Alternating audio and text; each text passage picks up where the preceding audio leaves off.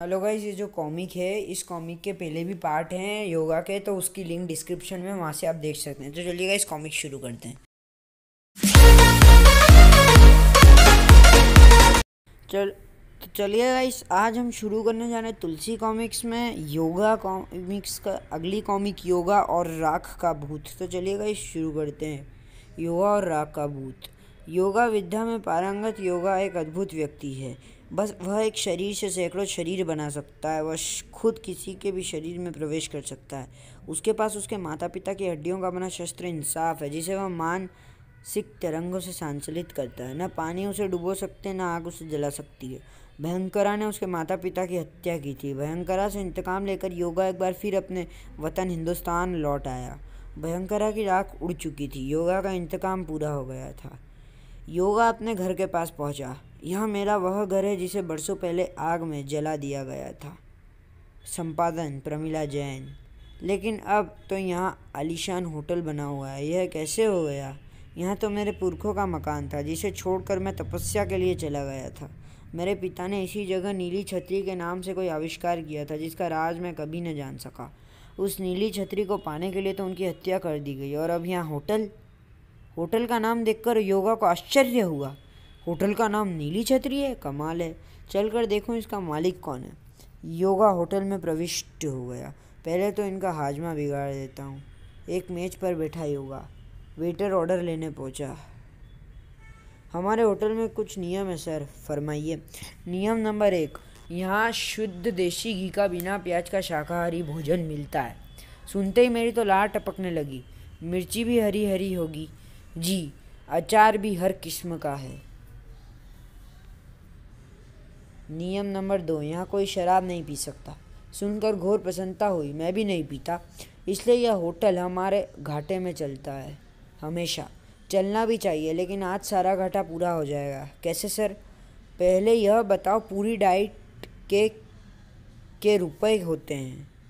आप जैसे ही काबिल लोगों के लिए होटल बनाए। श्रीमान, पूरी थाली के कुल दस रुपये होते हैं। लगाओ थाली। योगा को वेटर ने थाली परोस दी। अचार मिर्च की रहती है, चाहे जितनी खाओ। फ्री रहती है।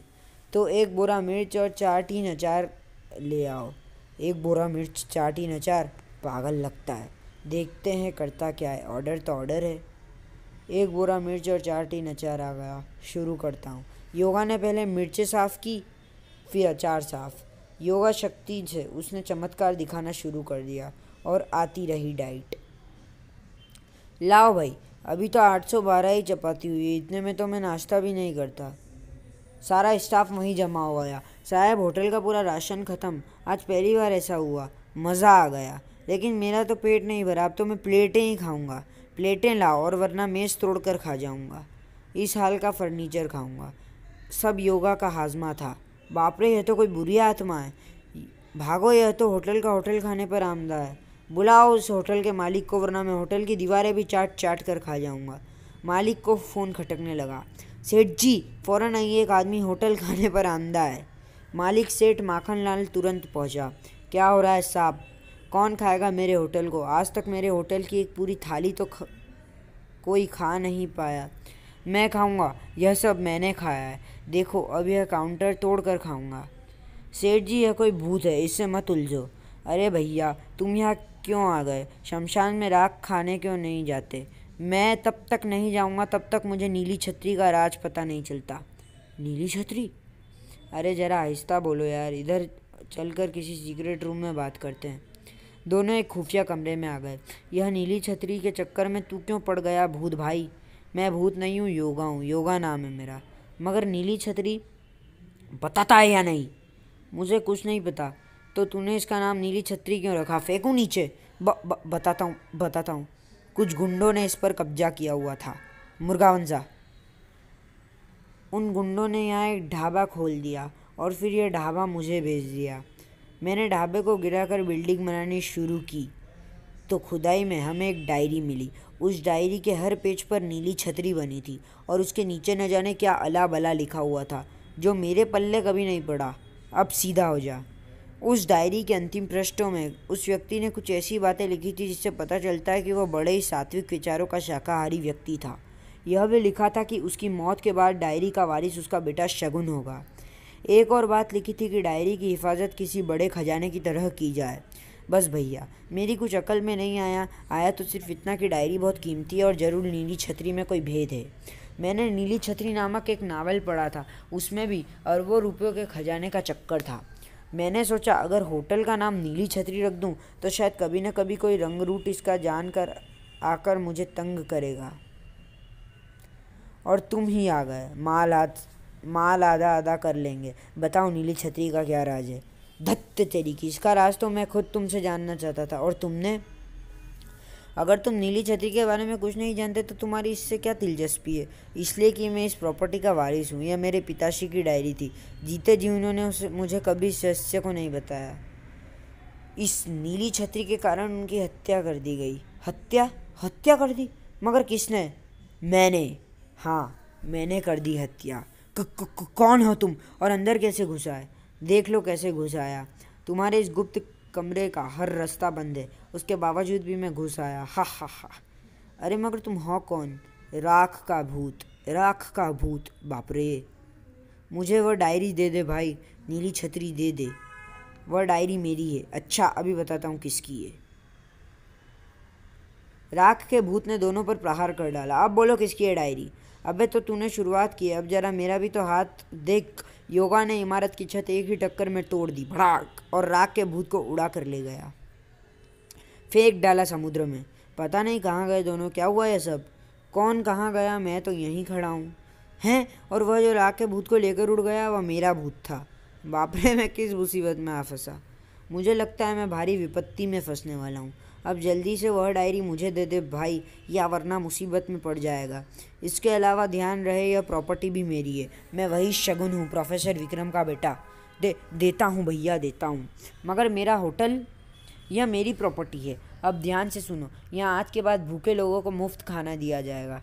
ठीक है, मगर घाटा, जब प्रॉपर्टी हमारी है तो घाटा भी हम ही देंगे।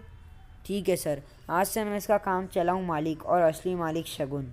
शगुन नहीं योगा योगा है मेरा नाम। सेठ माखन लाल ने तुरंत डायरी लाकर दे दी। ये रही वह डायरी जब नीली छती का रहस्य पता चल जाए तो मुझे अवश्य बताना, क्योंकि अली बाबा के इस खजाने में हिस्सा मेरा भी है। योगा ने ओवरकोट पहन लिया। माखन लाल जी, अब हम चलते हैं। योगा जैसे ही बाहर निकला, हवा का एक तेज झोंका आया और उसका ओवरकोट हवा में उड़ता चला गया। ओ, उसी ओवरकोट में जेब में डायरी। यह कैसी हवा है? योगा भी उड़ चला उसके पीछे। जैसे जैसे मैं बढ़ रहा हूँ, इसकी भी रफ्तार बढ़ रही है। ओवरकोट उसी समुद्र में जाकर गिरा जहाँ योगा ने राख के भूत को गिराया था। तो यह बात है, तू क्या सोचता है, राख के भूत में पानी में नहीं उतर सकता? समुद्र से निकला राख का भूत, हा हा हा। राख का भूत पानी पर दौड़ पड़ा। छप! योगा भी दौड़ पड़ा। योगा अपनी योग शक्ति से पानी पर चलना जानता था। दोनों समुद्र जल की सतह पर भीड़ पड़े। मैंने वो डायरी समुद्र में फेंक दी। तू उसे नहीं पा सकता। और मुझे पता है कि मैंने कहाँ फेंका है उसे। दोनों लड़ते लड़ते पानी के बाहर आ गए।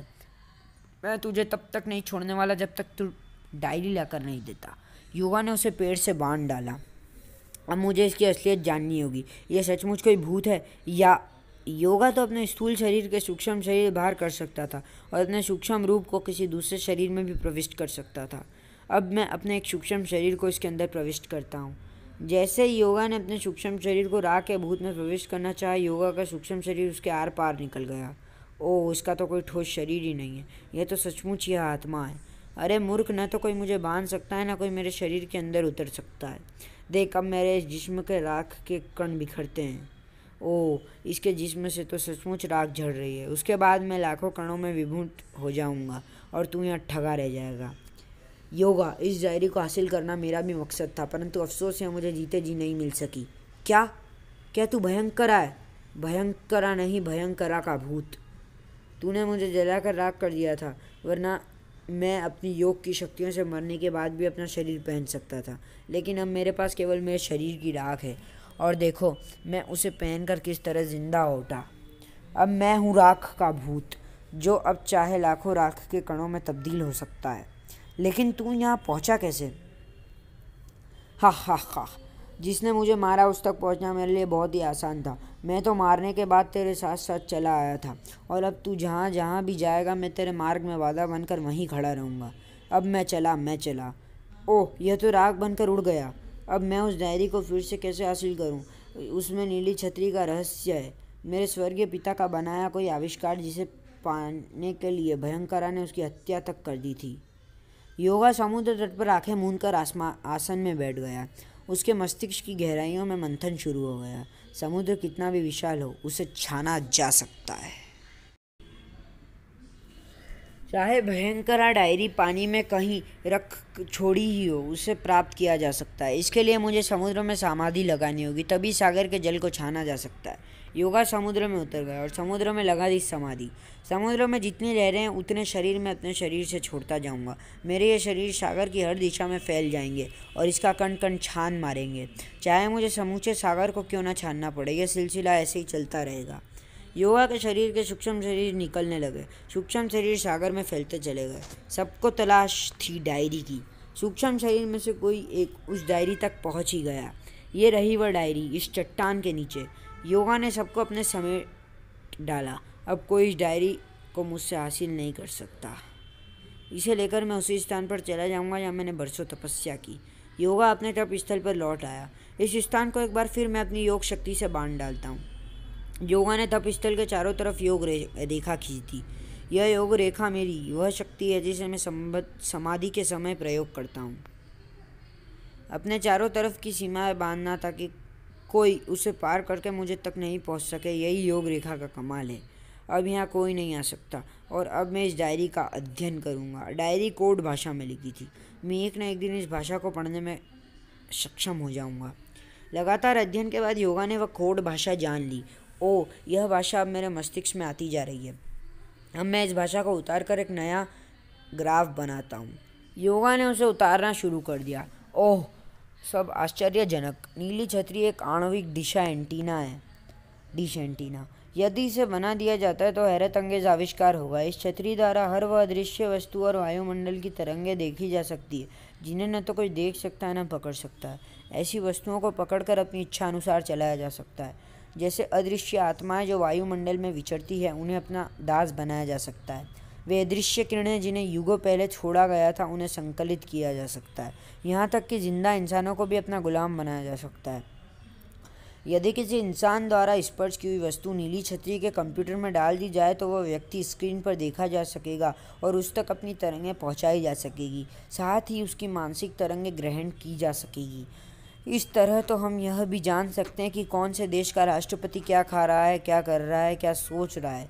और उसकी सोच में अपनी वेव पहुँचा कर उसे अपने अनुरूप सोचने पर मजबूर करते रहते हैं। कमाल का आविष्कार है यह। अब मैं बनाऊँगा इसे। यह डायरी तो मैं इसी जगह छिपा देता हूँ।